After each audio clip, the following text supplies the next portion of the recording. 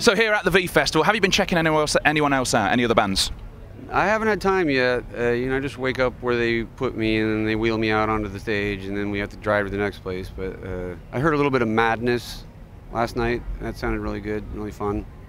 Is there anyone, I mean, over here who's playing at the festival maybe this weekend that you'd like to collaborate with? Oh, I don't know. I'm, who's playing here? I'm not sure. Fair few people. Kasabian, have you checked out Kasabian? No, I'm not familiar with them. Skunk Anansie? No. Uh, who else is playing? I can't think off the top of my head. Okay, if you could collaborate with anyone, who would it be? Uh, well, I wouldn't hang up on Bob Dylan. Do you reckon? I mean, what's the chance of that ever happening? Have you ever thought, you know, I'm just going to give him a call, see what happens? You know, fortune favours the brave. No, I've never thought that. that is a fearsome beard. How long have you had that for now?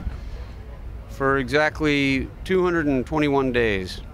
And why are you counting? Is it is the beard for a reason? I'm not. I just made that up because you asked. I, I, have no idea how long. Do you think you'll ever shave it off, or is this just the look you're going for for the current tour? No, I'll probably get rid of it. I'm getting tired of being mistaken as a terrorist. With the glasses. Uh, so you're going on again uh, in about an hour's time. Uh, are you looking forward to this gig being better than yesterday? And if so, why?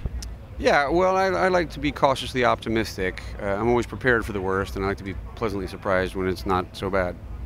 And just back to the album again, which is out tomorrow morning, called Tomorrow Morning.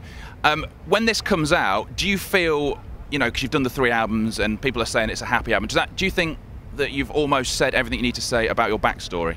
Now, let me get this straight. That sounds confusing. There's an album called Tomorrow Morning that's coming out tomorrow morning. Wow. We can only say that today. We can, right? That, that's amazing. Wow. What was the question? Uh, the question was, what can people expect from it?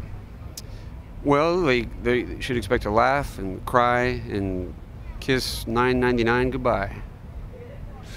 Um, and just quickly as well, on Electroshock Blues, that was the album that I got into because I saw you on Top of the Pops doing Last Stop This Town. I bought that album and never, I never, I never got all the meanings behind it. I mean, I know I really should have done. Is that my fault for being an idiot? Because I just thought it was a happy album.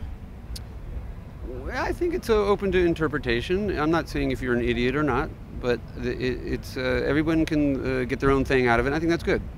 I mean, when you're writing songs so specific, is it frustrating when people don't get the meaning behind them? Um, no, it's not frustrating. I, I kind of like that, you know, but it can be a little bit uh, head scratching at times. Uh, right, last question then. What happened to Old Gold? Old Gold, my uh, my '71 Nova. Um, what did happen to it? I think I had the. Yeah, I either sold it or probably just gave it to a friend of mine when I when I moved from Virginia to California because it, you know I bought it for hundred dollars. So how much can you sell it for after several more years of use? Have you ever had a car as good since? Oh yeah. Well, you know, I'm a rock singer. I've had much better cars since then. Fantastic. Appreciate your time. All right.